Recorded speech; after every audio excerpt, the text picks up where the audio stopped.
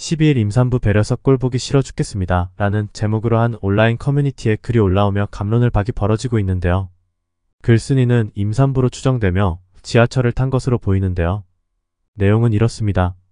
글쓴이는 지하철 내 임산부 배려석 앞에 서서 임산부 배지 보여주면 자리 양보를 기대하고 있었던 것으로 보입니다.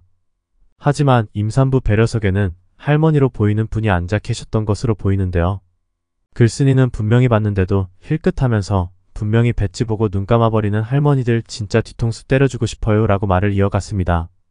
이어 제발 벌금형 제도라도 생기든지 왜 이렇게 뻔뻔한 건지라며 자기 자식들이 임신했으면 저렇게 할 건지 뇌에 뭐가 든 건지 모르겠네요 라고 말을 했습니다. 그러면서 모자이크 처리를 하지 않은 할머니분의 얼굴을 그대로 노출시키며 본인이 임산부인데 배려받지 못하였다고 하소연을 하는 것으로 보입니다.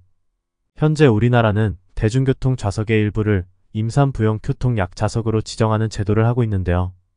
2013년 12월 서울특별시에서 시내버스와 전동차 좌석의 일부를 임산부 배려석으로 처음 지정한 이후 전국적으로 도입되었습니다. 하지만 이를 악용하여 임산부 배지 등을 구하여 임산부가 아닌 사람이 이를 악용하는 사례도 생겨났습니다. 또한 여론조사 등에서도 임산부석에 대해 비워두기에 대체로 공감하는 분위기인데요.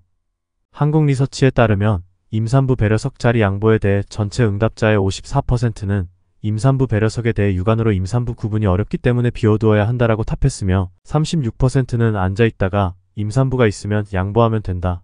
10%는 비임산부가 앉을 수 있으며 배려에 대한 각자의 판단에 따라 양보해야 한다고 답했습니다. 하지만 이 임산부석은 배려석이지 의무는 아닙니다. 글쓴이는 임산부이지만 반대로 사진에 보이는 할머니의 경우 몸이 불편해 서 있는 게 힘드셨을 수도 있고 할머니 때에는 임산부 배려석에 대한 부분을 크게 신경 쓰지 않으셨을 것으로 보입니다. 임산부이지만 크게 불편하지 않은 상황이라면 본인보다 불편해 보이는 할머니에게 양보할 수도 있습니다. 본인은 임산부라고 양보받아야 한다는 생각부터가 잘못됐다고 생각합니다. 본인도 임신으로 불편할 수 있지만 앉아 계셨던 할머니에 대해서도 조금 생각하셨다면 공개된 온라인 커뮤니티에 새벽부터 글을 쓰며 잘못 없는 할머니 얼굴을 그대로 노출하지는 않을 것 같습니다.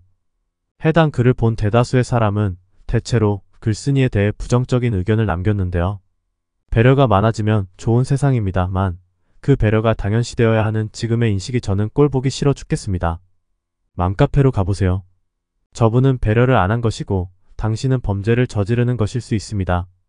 배려는 해주면 고맙고 아니면 말고 저분 연세도 있어 보이는데 오죽 힘들었으면 저럴까요? 그래도 얼굴은 가리시는 게뜻 모르나 배려석 싹 없앴으면 좋겠음 유난이야 등의 반응을 보였습니다. 여러분들은 임산부 배려석과 글쓴이가 자리를 양보하지 않았다고 당사자 얼굴까지 공개하며 글을 쓴 거에 대해 어떻게 생각하시나요? 의견을 남겨주세요.